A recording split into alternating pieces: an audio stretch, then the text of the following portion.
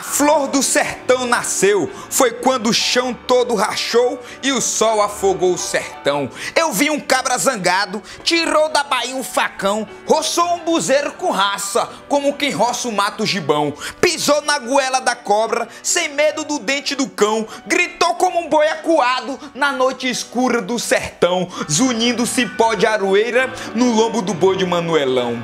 Na rachadura do chão da estrada, a borboleta vestia chitão.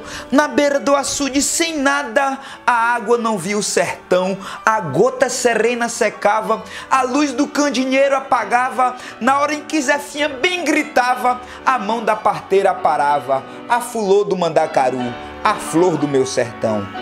Alberto Rocha